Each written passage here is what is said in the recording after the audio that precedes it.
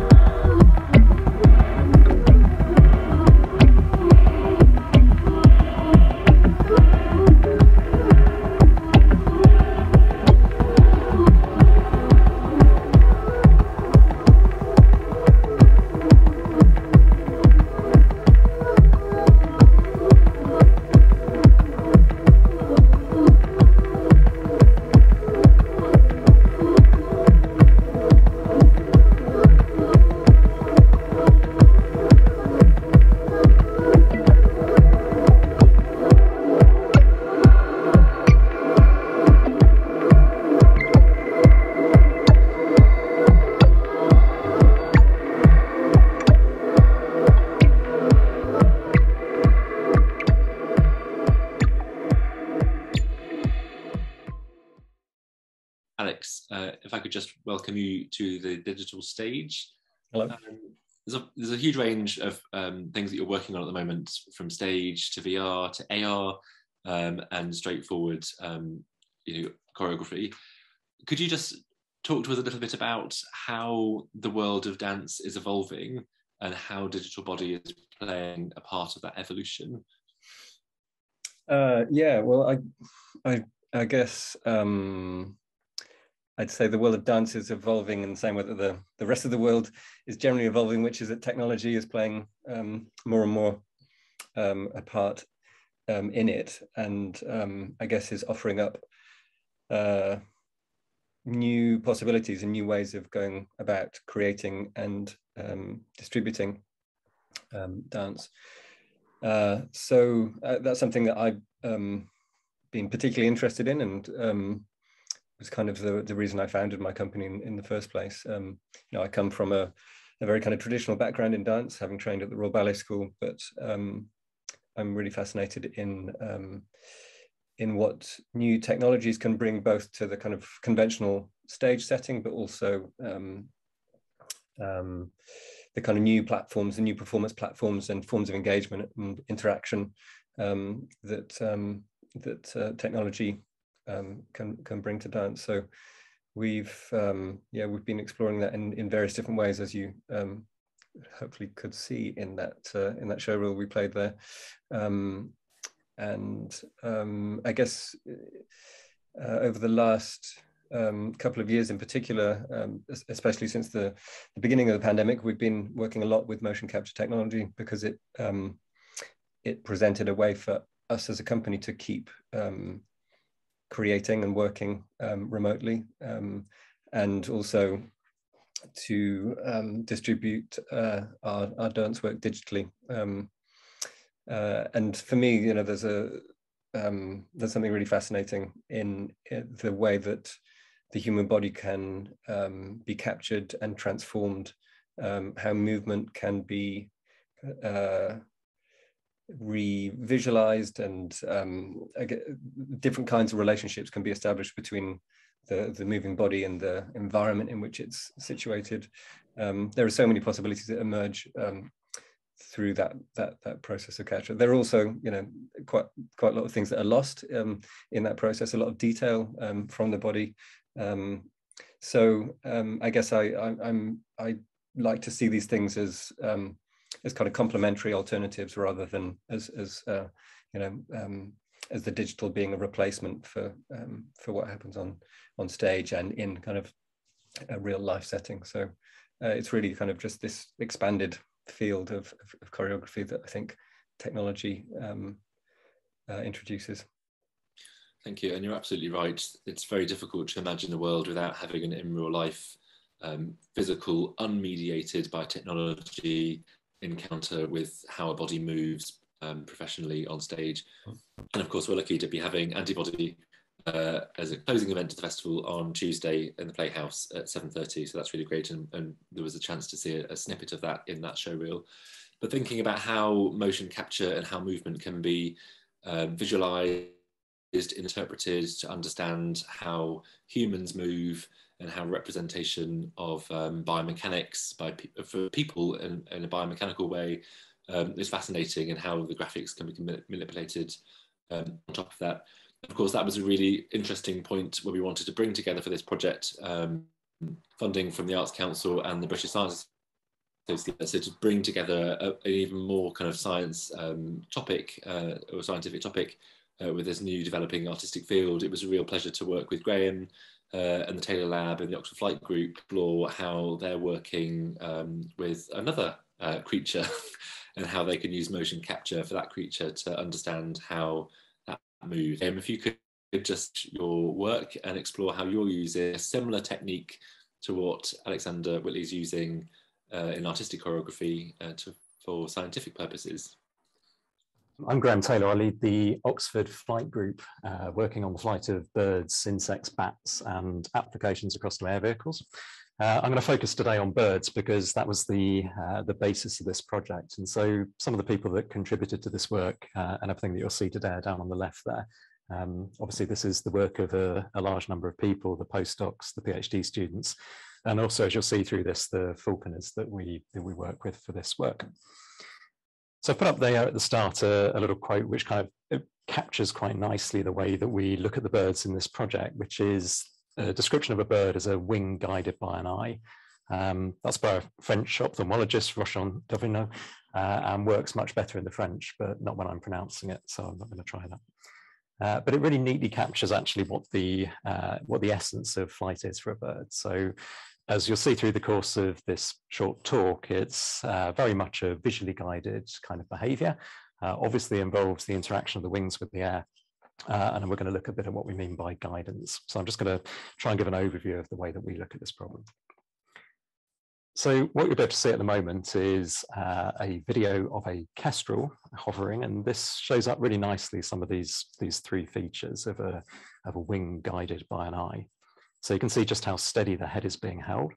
That's really important because this is a bird which is uh, hunting on the ground. So it's holding its head steady in order to be able to get a good view of what it's trying to predate.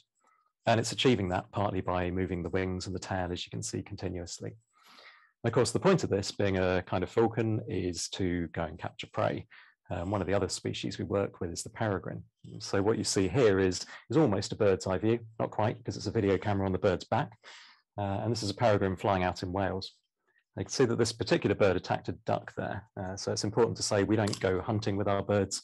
We go after artificial prey. Um, and it just happens to be the case that just occasionally the birds will chase after wild prey, which is what happened here. When that happens, we can make use of the data that we collect. Now, you might have noticed in that video there that the duck was hiding by a fence. So actually no duck was harmed in the making of that video uh, because the duck did the sensible thing, hid by, by a fence and the peregrine couldn't capture it. But all of this is happening incredibly quickly. And so if we slow this down a bit, you can see a little bit more of what's going on here. So the peregrine has to get through the clutter of those trees. It's then got to visually target the duck. And you can see that the video becomes steady, which is because the bird stopped flapping and that helps steady its head. And then what you've got there, if you look closely at the wings, is an upside down duck. Um, and so the explanation of why the duck was able to evade this bird is that it does this incredible maneuver, uh, pulling straight down to the ground. Uh, but if you look there, you can see that its head is kept the right way up. And that really shows nicely just how visually guided birds are. They build a picture of their environment uh, very much from, uh, from vision. So in terms of what we mean by guidance, we're interested in how the birds are using this vision to, to steer their flight. And you see that here for one of our Harris hawks flying out close to the field station where I'm sat at the moment at Wytham Village. Uh, and this is a Harris Hawk chasing after a remote controlled car. So the PhD student on this project gets to, to steer the car and also created the equipment that the bird is carrying. So it's a really precise GPS unit that measures where the bird is and where the car is to better than a centimeter of precision. Um, so similar to what you have on your phone, but um, 100 times more accurate in where it's placing things. We also have the ability to look at where the head is looking. So the bird you might have noticed was carrying something on its head. That gives us the gaze direction. And so we can work out how the car moved and how the bird moved in response to it. And that's what's shown up there. So the red is the line the car took, the blue is the path that the hawk took, and those purple arrows are looking at where the gaze of the bird was directed. And we do that with falcons that are pursuing aerial targets as well. And that's what you see on the right there with a gerfalcon tracing after a robotic, um, robotic prey item. Uh, and at the bottom there, the GPS trajectory of that bird, which is a really elegant kind of curve that you see on that um, trajectory there. What's quite nice with this is that that elegant, sort of almost like Art Deco kind of a curve is being generated by an underlying mathematical equation. And actually that mathematical equation, the algorithm that is embedded in this is the blue line that's overlaid on those GPS points. So you can see there quite how well the model fits the data. And it means that we can really explain very nicely with a mathematical model how the birds are pursuing uh, targets that don't want to be caught. And once you've got a model of that sort, you can also begin to do some interesting things in computer simulations. So again, picking up on something Alex said, the digital world is loses some things compared to the, the real world. And we've got that here in this simulation but we've embedded a lot of the basic physics in this. And so this is a simulation where we've effectively le let the computer learn how to intercept targets. And so we've evolved uh, an artificial peregrine essentially uh, for chasing after targets. And what we can then do is compare that artificial peregrine with what happens in the real world. So the one in blue there is uh, a wild bird that we filmed uh, in a dive, stooping uh, out in the wild. And then down there on the green is a, um, is a simulation of the bird. And what you can see on this as the uh, simulation is diving there, uh, is it doesn't quite perfectly pick up what the one in blue, which is the real bird does, and it's not trying to, it's trying to, to behave slightly differently. You see those trajectories differ at the end, and that's because the prey item that's being chased there was hugging close to the ground, and the ground isn't present in the simulation.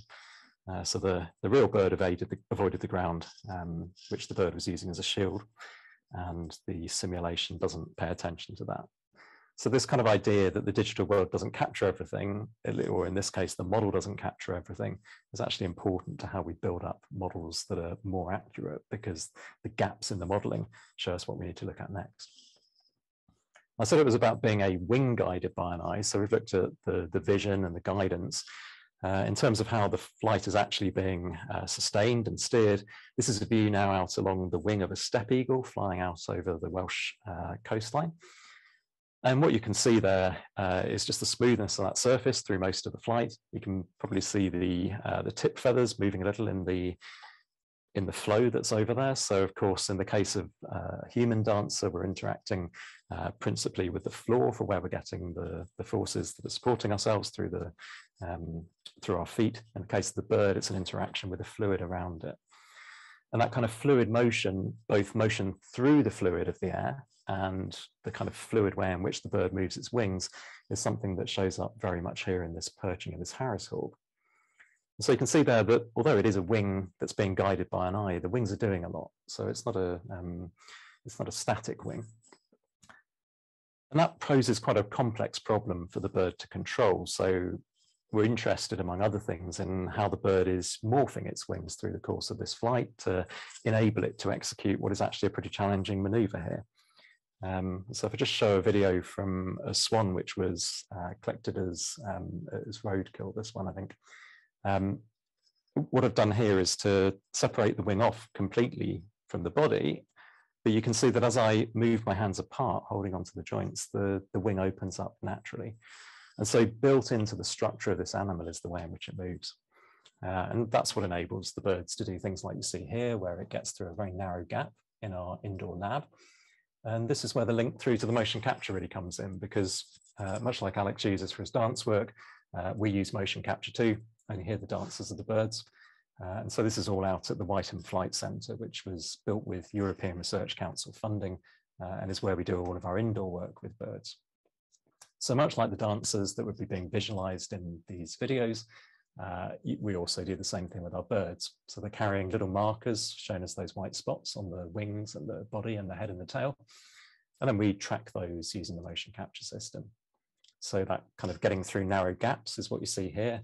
And again, I just kind of emphasize the really fluid kind of motion that the bird does. You can see we've made it a bit more challenging for the bird here uh, by moving the gap as it's flying through which again allows us to look at how it uses vision to guide its flight. In terms of what the data looks like that you get from that, um, if I now show the video with some of the markers overlaying, that's now showing the trajectory of the bird's body, uh, which is all that we're tracking in this particular um, motion capture movie here. But you might notice there are markers on the wings as well. So we can also measure how those wings are being used to, uh, to steer and uh, to support the body weight. And again, it results in some really quite beautiful images, I think. So what you see here on the right is a kind of view of the hawk. Uh, and that line in the middle there of plots there is showing how the markers move during the course of a flapping motion uh, or during gliding or during landing. And you can see there the, the uh, what, what we've done is to overlay lots of points from all the different points through the through the wing beat or through the particular maneuver and that enables us to kind of visualize a fingerprint for what a particular motion looks like for a bird. And we then kind of decompose that into to different basic motions that that is made up from. One of the really interesting things that drops out from doing that is you find that much like humans, birds have their own distinctive gaits. So you're probably familiar with being able to recognize people that you know uh, just on the basis of their gait. And the same is true for our birds, actually. Uh, so you can see we've got a, a bit of a, a, dragon naming theme going on for our birds here. Each of these is a different individual. Uh, if you look at the one there, Rhaegal you can see it's actually very asymmetric in the way that he beats his wings. He's also one of the very best flyers among all of that group. And so those kind of individual uh, gaits are, are something we're quite interested in. And by tracking it with the motion capture, we're then able to get the, the kind of thing that you see visualized there, which is the data, the raw data that comes out. And just to kind of loop back to where we started with this being visually guided, because we know where the bird's head is looking, we can also make use of that to, uh, to do a reconstruction of what the bird would have seen as it was doing things like chasing a target. So what you see on the left there is, again, one of these digital technologies being used to, uh, to visualize what the bird would actually have seen in the course of chasing this target through the flight lab. So hopefully that's given a bit of a flavor of the kinds of things that we look at and the way that we look at the problems uh, and uh, sets a bit of context for the dance that is going to come up next. So thank you. Thanks, Graham. That's brilliant. It's so fascinating how we can understand how birds fly. And I think the, the collaboration um, that we've put together to show, create this film and share it with you today takes so many themes of that. Um, of course, fundamental to making the video was the young people themselves. So just before we show you the film, um, it would be good to just introduce Peter to talk about the process of creating um, the film. So, uh, and maybe also even uh, Alex to explore how how it was that people um, got involved and got captured and then were translated into this film that you're about to see. So, Peter, you're involved uh, in getting young people to to dance on screen. Um, mm-hmm. How did that go? How did you find it? Yeah, so um, to give a little background, uh, the, the, Parasol Project runs a kind of summer school every year, um, and we tend to do an arts program of some kind. We do a visual arts program, but also a performing arts one. And in the past, that's operated as a uh, usually a stage show at the end of the of the summer. Um, mostly because it's just a kind of lower tech option for for for people to come and see. Um, and similarly to what Alex was saying about kind of a response to um, to adversity, um, we've been running this year, particularly as a kind of film film and TV uh, uh, project. So that tied in quite well with this with this element of it. Um, yeah. So so we we um, we received some, which I mean, I'll, I'll, I'll leave Alex to speak about it if you'd like. But uh, we received these um, some wonderful kind of choreographic snippets, um, which we then gave to the young people and uh, kind of gave them space to interpret and workshopped with them. Um, so it was it was both about uh, about emulating some some really high end choreography, but also about uh, finding the the kind of the, the form that that choreography took in the language of these young people's bodies, who to kind of to clarify, some of them uh, have a, a, range of disabilities, and some of them have a range of abilities in terms of their dance experience and so forth. Um, so it was a very varied experience, but um, but a very rewarding one for that. Great. So maybe passing on to Alex. So obviously we had um, there was conversation research group and Alex uh, a way to interpret some of the videos and the kind of bird movements that we've just seen in Graham's uh, presentation. Alex, how did you choose to pick out themes from that and then work with Peter and the Parasol young people to find a way to do something that was achievable? Obviously, the performance that you work, or the dancers that you work with, can move in ways that I can't even imagine um, my body kind of doing. So, um, could you just explore how you worked with um, with Peter to create those phrases that could be workable? Yeah, I mean, there's, I think there were a lot of um, stages of translation in this process. It's um, which is kind of always the case, I think, in making making dance to some extent, especially when you're you know you're taking inspiration from a subject outside of dance and and, and using it as a medium to um, express or explore those ideas. Um, but in this case, there were there were many more, and um, and and that was um, also largely due due to, uh, to to COVID and various interruptions we experienced through the process, um, which meant it it all um, was done remotely. Um, but um, yeah, it was fascinating for me to talk to um, to Graham and uh, you know to learn um, about the work he's doing and um, what they're discovering about bird flight and how that compares to to human movement. And um, from um, those conversations, uh, I tried to kind of distill them down into some some basic principles. Um, um, which included ideas around symmetry, um, ideas of power, how power is generated in bird flight that's um, different from how we generate power in human movement um, as an element of weight and the different um, kinds of weight of a human body compared to a bird body. Um, the principles of morphing and shape change that Graham alluded to in the, the movement of, of bird wings and these uh, couplings of, of, movement across the body. Um, transitions was another principle we, we looked at, which, um, you know, these kind of phase changes, um, different stages of movement um, in the process of uh, uh, a bird flying and, and landing.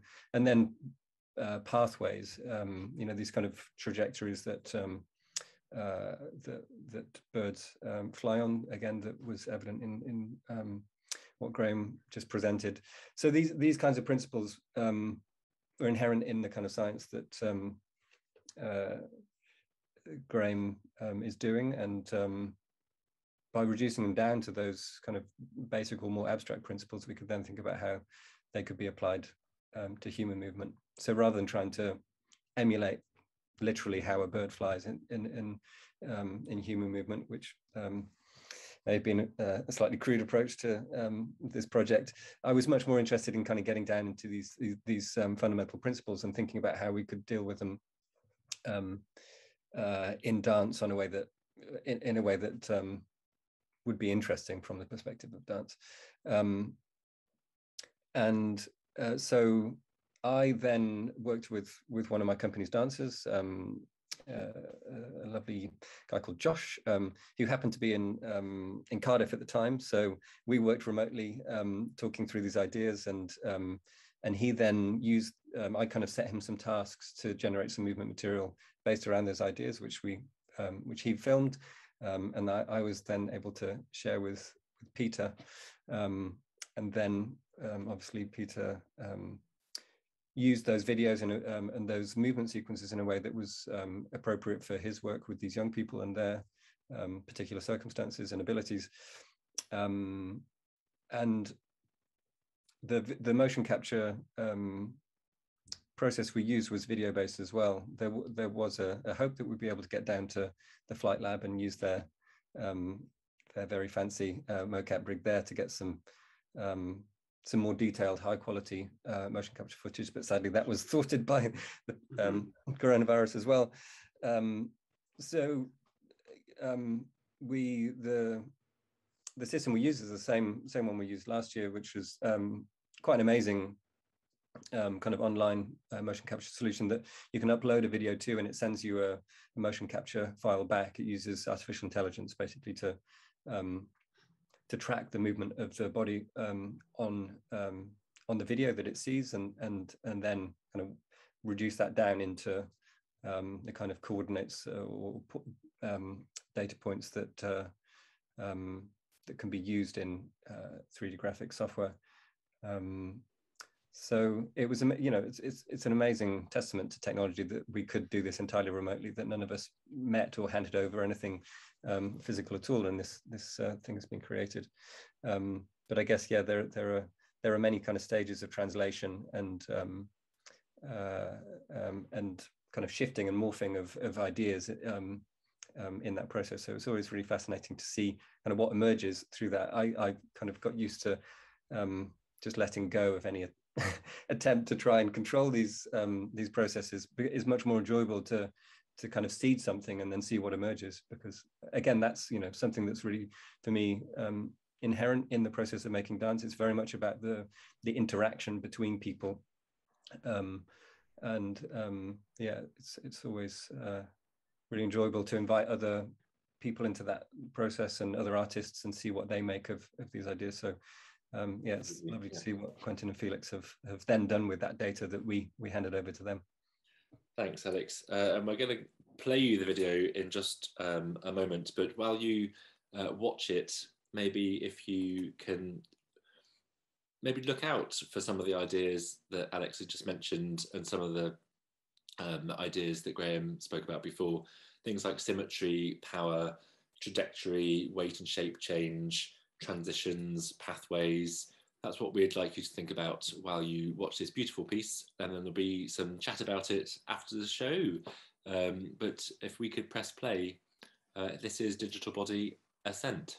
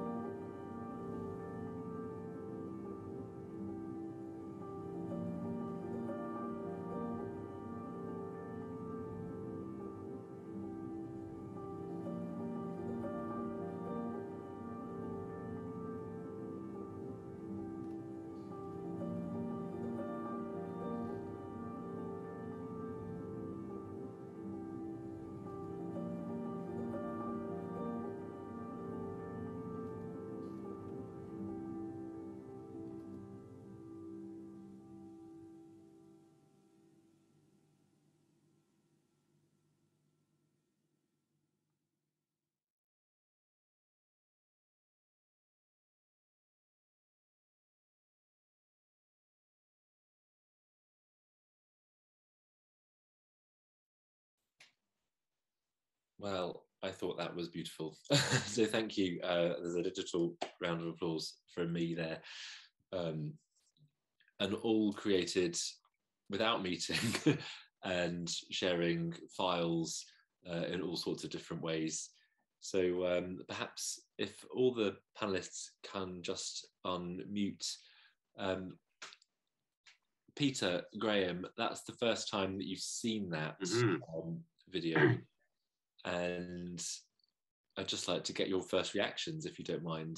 Um, so maybe Peter first. There, well, there, yeah, there, there were a couple of elements that I was just so delighted to to see. One of uh, just to pick up on actually what Alex was saying just before we watched it, of um, the kind of interpretive element or the kind of you know giving something and then and then letting it go was one of the delights of working with the young people was in showing them the stuff that uh, Josh had done and the choreography that he put together, and that they would pick out phrases or, or bits of, of, of, of choreographic kind of language, which would never have even occurred to me or were not i you know and, and they and really fixated on them and thought they were really important. And i thought that was lovely then to see some really specific things come through. And as graham was saying the kind of gait recognition thing of these young people that i know very well but identifying them in in a rather different mode of being. Um, and and I think it's, it's, it's worthwhile actually just to speak um, to, to, to, clarify for, for, for the those who don't know the Parasol Project that a lot of these, a lot, you know, several of those kids were just ones that um, had kind of got swept along with something that had involved going and hearing a, a talk from Graham or would have been doing some TV filming stuff that you know that before that day, so weren't necessarily dancers or, or didn't self-identify as dancers. Um, and I think that it was lovely to see them So it, almost it seemed like a permission to do something that they maybe didn't think that they could do because it was it was phrased in a slightly different way. Um, so that was that was lovely to see.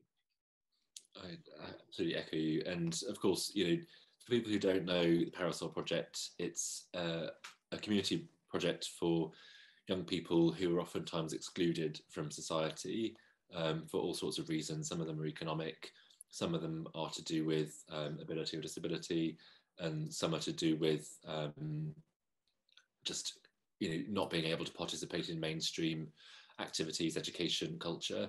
And so there's a really lovely example of bringing people together through the new methods that we have mm-hmm. at our disposal and seeing the outlines of these young people. And we'll talk about how the shapes were created to see the outlines of people who you probably recognize, Peter, Yes. Um, you know, the legs and the arms and the head. Yeah. sort of, I can recognise it. Obviously, we're not going to name who they are, but no, you know, just young people are sort of immortalised digitally mm-hmm. now.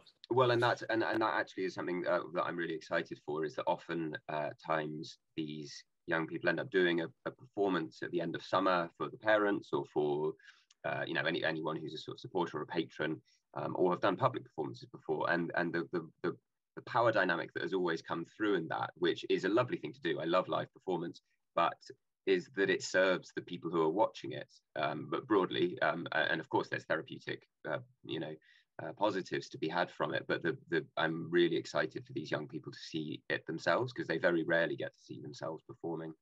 Um, I think that's very validating, and and it's yeah, to see such a high quality product, I think is is, is lovely.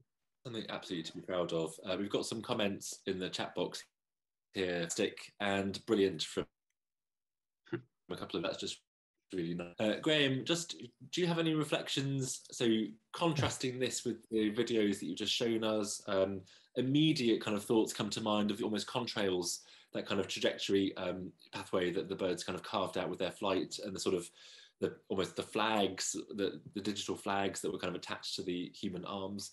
Um, do you have any immediate reactions that you have from the piece, and then we'll bring in Quentin, Felix, and allow Alex to return. Yeah, I think I, I, might pick up on a few lines. So, I mean, yeah, I just echo that. I thought that was a really beautiful piece to watch, and it was it was actually therapeutic to watch it. Um, one of the really, I, I, really enjoyed working with the the young people on this project. Um, some really fantastic questions and interest and thinking from them about it, and really thinking quite deeply about some of the videos that, that you saw earlier. And I think that kind of shows through. And what they did on this. Um, and, picking up on the comment on individuality. It's also interesting that again, I've never met them in person, but um, having met across Zoom, I can recognise recognize individuals in that. And I think that that individuality of the the birds that I was alluding to earlier was something we really wanted to pick up as well in the the individuality of human movement. Um, so yeah, fantastic from that perspective. Um, on the contrails and the um, what the animal leaves behind, uh, of course, most of the time we don't see the directly the interaction with the with the fluid. And in fact that's one of the directions we want to take the research next in the lab is to to really start visualizing for those kind of motions that we saw what is happening in the in the air. This was something that alex and i talked a bit about how to how to think about that and represent with humans interaction with a, a, surrounding fluid. And so there was i think there was the illusion all the way through that to movement through water um, because swimming is is perhaps the closest we get to to feeling that experience as you're tumbling in the water underwater and pressing on against the fluid of your body and arms. That's the that's much closer to how a bird is moving than um, than the normal kinds of motion that we're used to. So it's really interesting to see that coming through and then picking up on the the kind of silks and um, ribbons behind, there is, of course, that invisible wake that the bird leaves behind it um, that most of the time we don't get to see. Um, and quite interesting, actually, that that's very similar to how you might have seen what we were visualizing in the videos, the sort of computer reconstructions of falcons. It's a really useful way of um, visualizing uh, where the bird has been and the, the kind of history of the motion, because all of these these motions are ones in which you have a a kind of time history to them, and that's really important. Um, that's the essence of motion, um, and that really shows up in those those trails behind the birds, but likewise in the in the ribbons behind the dancers. Um, so yeah, really, really nice to see. Um, and so for the people on Zoom watching, um, there is opportunity to put some questions in the Q&A box if you like, if you have any um, comments, observations, or questions that you would like to ask the panel. Um, so please do drop them in there and we'll attend to them. Uh, I think it'd be a really good opportunity now to uh, speak to Quentin, Felix and Alex about the way that data was captured. When we talk about data, but it's movement, how do we kind of capture that movement data? How was, how was those data points uh, taken? How were they then interpreted and what challenges kind of came up in the process? Uh, and how did you choose to represent it in this way that you've chosen to do? So maybe um, I'll jump ask Quentin to ask answer that one about the um, um, maybe the the iPad transfer. yeah. So so the the videos taken of the dancers get turned into motion capture, which we me and Felix receive as a skeleton. So it's just like lines representing the arms with like points and like then they move.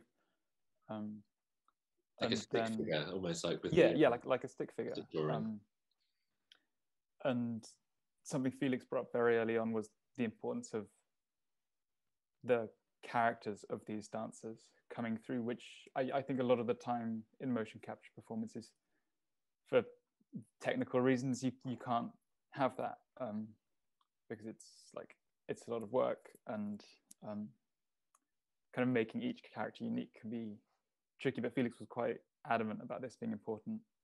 Um, and iPads nowadays come equipped with LiDAR scanners, um, which uh, it's, it's like a, an extra camera on the iPad that shoots out light and measures how long it takes to come back to the camera.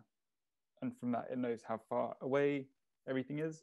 And so people are writing tools for iPads and iPhones you can walk around a subject holding it and recording it, and it will output uh, a mesh, like a digital representation, 3D, um, of whatever you're scanning.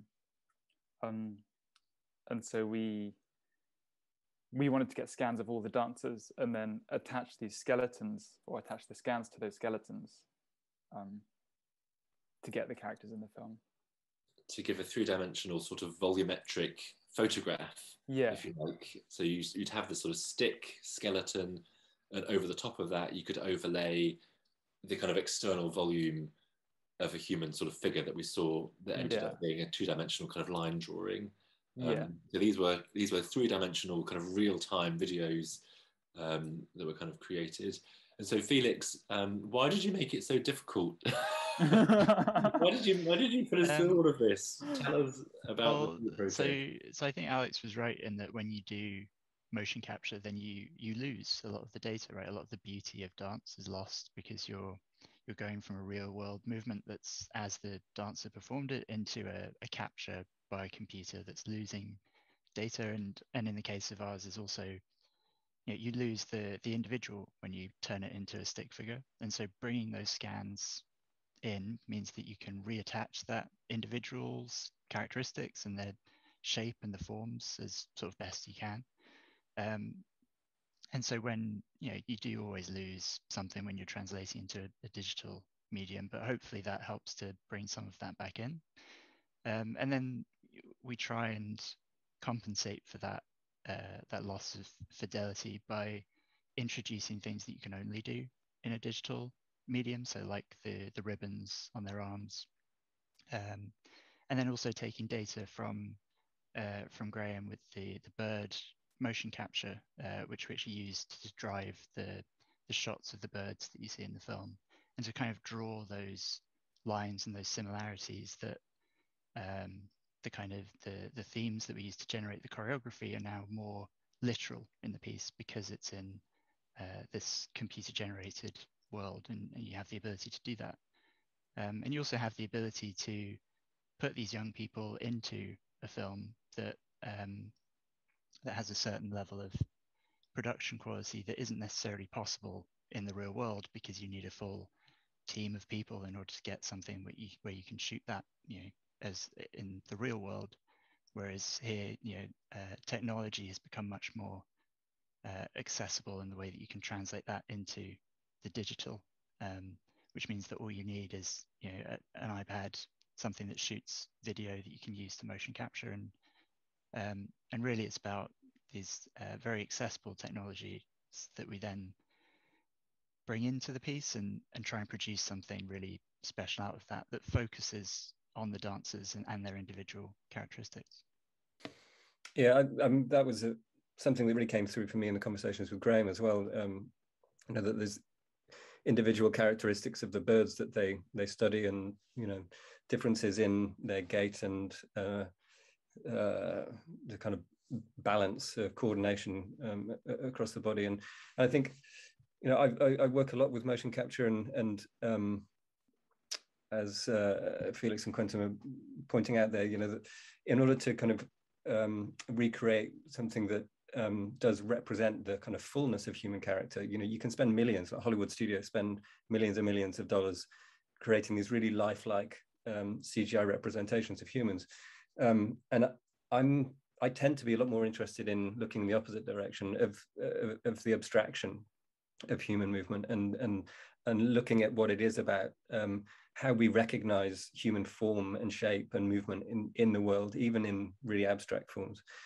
But I think in the context of a, a project like this, which is really about you know the um, these young people and their their experience, to abstract them out of the the equation um, felt really um, inappropriate. So I think keeping as much of their um, individual unique characteristics in, even though obviously their their shape and form are still abstracted in these um, kind of pencil sketch outlines. Um, it's so nice still to see um, their their kind of uniqueness um, preserved and, and, and coming through and and and nicely different for me, I think, in terms of the the approach that I've I've tended to take um, in other work that I've made using this kind of technology.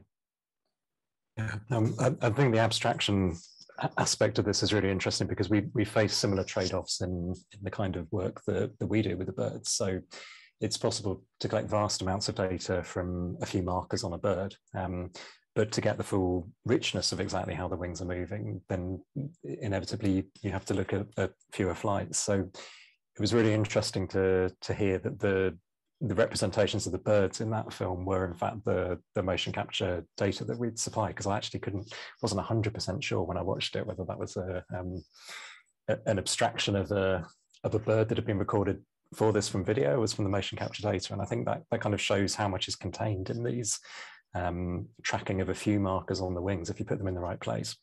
And so one of the people that was really closely involved in that was um, is Lydia France, who's uh, his postdoc in the group, moved, moved on to another post now. Um, but Lydia really um, contributed hugely to that with um, analysing the the ways in which the bird's wings were moving and sort of basic basic motions that you can actually capture in the uh, the tracking of a fairly small number of markers on the bird's wings. So it's fascinating that that's what then came through in the uh, in the renderings that are there in the video. So thanks. It's a really good observation. This abstraction idea, and sometimes we might I don't know we might see um, pencil drawings of a bird, for instance, and it's not an authentic representation of that bird, but it might be quite clear. I'm going to use an example of a swan. If someone drew a kind of curved figure and maybe some watery light, it would be quite clear that that was a swan, for instance, or if it was possibly um, a small sparrow, or if it was some kind of eagle. The, you can sort of, in your mind's eye, kind of see these things and instantly recognize them. And so by reducing the number of data points, if you like, or kind of cleaning it up to be just a couple of curves and uh, you know maybe a dot that's how you kind of represent a bird in sort of art uh, and so in, sort of, in a scientific kind of context when you've got all these kind of data points that could be look like a really cluttered data set um, so with the, um, the, the diagrams that you showed before graham uh, looking kind of the way the bird wings kind of fly are kind of taken from the x y z kind of axis and looking how obviously the bird doesn't kind of just move their wings up and down, they move them backwards and forwards and left and right, and they tilt and yaw and all the rest of it. And so finding ways to take away some of the kind of extra data points to kind of see what's going on, it allows you almost to see more if you see less, if that makes sense. Yeah, I think so. I mean, I think that that element of abstraction is the real commonality there between the mathematical modeling that, that we're doing of the, the scientific data and the, the way that this is looked at artistically. It's all about extracting the essence of the, the motion that's being looked at and really understanding the fundamental principles, as Alex was um, was referring to earlier. It's, it's really uh, good to see how scientific kind of thought, if you like, and how artistic and creative thought really does mirror each other quite closely. Sometimes people say, oh, science is different to art in so many ways. And here is one example where there's a huge amount of overlap between uh, artistic creativity and scientific creativity and where you're going with your research. Um, so uh, it's it's really kind of pleasing to kind of see that. Dane, if I if I could just speak to that for a second, actually, that was that was something that um, was a fantastically new thing for me, frankly, working in the youth sector. Um, that often, I mean, particularly in, in youth engagement with underrepresented or underprivileged or, or or, or excluded young people, um, there's a there's a massive focus on the arts as a as a therapeutic tool, um, or, or, or, frankly arts and recreation kind of as a as a thing that go together that they might do during their summer. And it was so fascinating to work this summer with kind of a complete paradigm shift in terms of the fact that science could be could have a role in that as well, or could have a, a home in the world of of of, of, of, what you might do over your summer school. Um, and the thing that pop sprang to mind for me after I think our first meeting together ever, Dane, was that um, there's these the kind of slightly hackneyed I ter- sort of uh, phrases of like if you can walk, you can dance, or if you can speak, you can sing. And I think the thing that popped into my head after a, a little bit of working on this, actually particularly after we'd had that talk with you, Graham, was like if you can think you can science or whatever. There but there isn't a version of that i don't think in the popular consciousness or, or certainly not for young people. And it just on reflection now seems kind of grossly unfair to not have given them that as a possibility. Um, and i think that uh, yeah though that those commonalities and joining up the dots for them was was really valuable um, to see some of those possibilities and in fact one one young person who i know has a is fascinated with horses and animals and loves just as soon as she had um, been, uh, uh, you know, had spoken with Graham was like, that's a job. Like, that's that's amazing. What, like, how can that be a job um, from a scientific point of view? And that was that was fantastic. So, so yeah, a really good part of this project was finding those bridges. Yeah, I, I feel that every day. Um, what a fortunate job it is to have, actually, and to, uh, to be able to just have so much fun doing the science. But I, I, mean, just just to say that the kind of the responses from the young people to the some of the videos that I was talking through were actually asking exactly the same questions as we ask of the of the data. Um, so yeah, I, I, think the, the idea that if you think you can science is, is really nice. we'll try and promote that.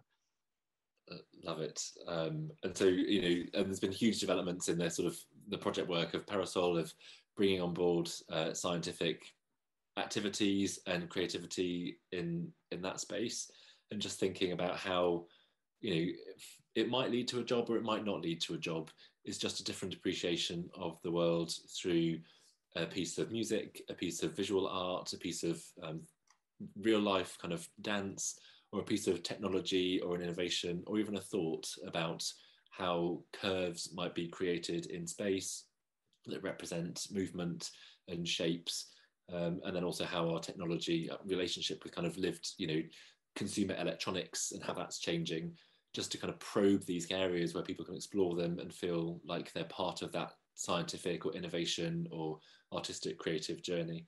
I think that's really wonderful to see. Um, I'm just wondering uh, what's next, maybe then in this field. Um, I'm sure uh, Graham and Alex have got some thoughts um, of what's kind of next up, um, and maybe uh, maybe they could share some thoughts on what might be on the horizon for their work and and how uh, this bird flight research might be kind of changing the future of all sorts of different kind of areas. Maybe Graham, could you offer some insight on what um, I don't know the impact of your work is is leading towards? Yeah, so for, for a long time, we've um, we we've focused a lot on applications across to, to air vehicles, typically typically small air vehicles.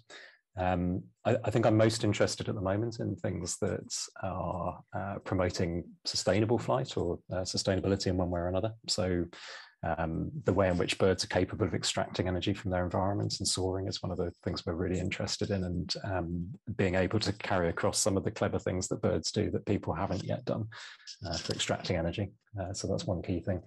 Another thing is just how the birds are learning these behaviors because pretty much everything you've seen is a kind of combination of um, hard hardwired kind of behavior, but then superimposed on that, learning how to, to do things. And these behaviors that we've been looking at give a really nice way of looking at how birds learn complex kind of motor tasks.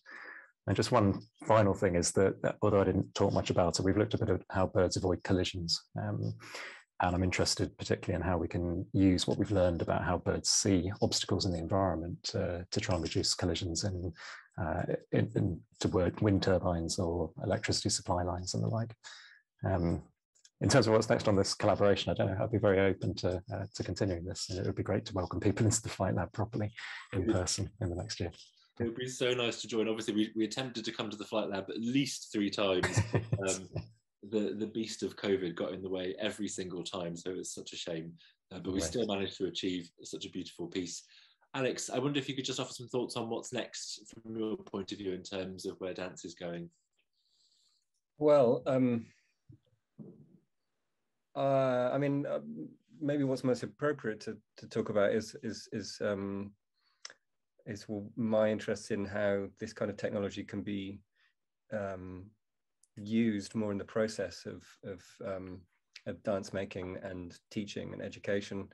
Um, you know, it's wonderful to um, to use it in this context to you know to create um, digital um, dance works with, and um, and I'm incorporating a lot of this kind of technology into um, stage productions as well. Um, but I think there are so many um, possibilities for using this in in more of a kind of live interactive setting with with young people um, and not only you know it opens up, up a lot of possibilities in terms of how people can be reached um, uh, um, in different um, parts of the country or the world you know uh, i guess there's an element of, of the digital that transcends geography which i think there are a lot of advantages too but um, but also you, um, building uh, creative tools with this kind of technology to enable young people to think through the process and understand more about dance and choreography um, is something we're we're thinking about a lot. Um, so I'm, I'm, I'm hopeful that we'll be um, introducing some of those elements into our into our work and activity um, in in the coming years. Um, and and I think you know it it it, allows these um, kinds of connections with other disciplines and, and, and forms of thought. Again, you know that it's a kind of inherent feature of, of my work, this interdisciplinarity and looking at the parallels between artistic and scientific processes. And I think technology uh, tends to do that. It tends to um, kind of break down um, barriers that have tended to exist between um, uh, art forms and um, different kinds of disciplines. So uh, it's really fascinating to see how, um, yeah, traditionally distinct disciplines are converging around the use of the same kind of technology and what that means for how how we can understand more um, about each other's work and uh, the world in general. So that's really exciting. Great. Well, what a fun end, uh, what a fun point to end on. Uh, it's just wonderful to see where, as you say, technology is evolving and people can play a part of that in all sorts of different ways.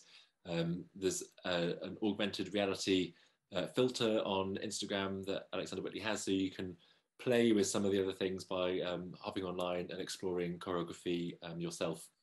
But with that, it's been a real pleasure to share this with you today and have a conversation with some, just some of the people who are involved in the project. There are at least um, twice as many more people again uh, that were involved in creating this work. So thanks so much uh, for coming to this. We'll be putting the digital body um, ascent video up online. Uh, so watch that again uh, as many times as you like. And again, think about those ideas of symmetry, power, flight, trajectory, interaction, and beauty. Uh, and we'll see you for another IF Oxford event in the future. Thanks for joining us. Bye bye.